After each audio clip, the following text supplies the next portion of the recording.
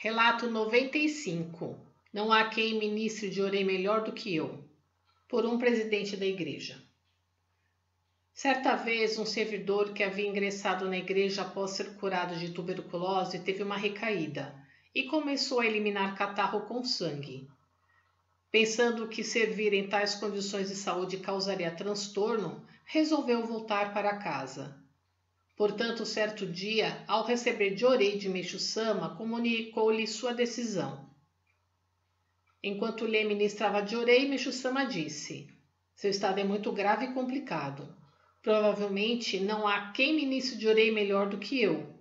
Se quiser, pode voltar para casa, mas não tem vontade de permanecer aqui?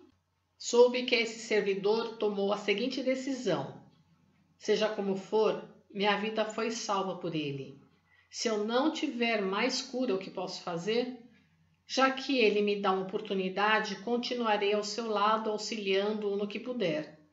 Assim pediu permissão para continuar a servir e daí por diante foi melhorando surpreendentemente e trabalha até hoje com perfeita saúde.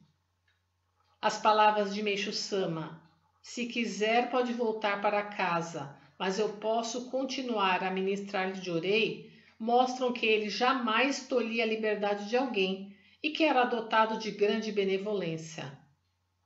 Ao ouvir este caso, fiquei profundamente comovido. Extraído do livro Reminiscências sobre Meixo Sama, volume 1, página 172. Compartilhe os ensinamentos de Meixo Sama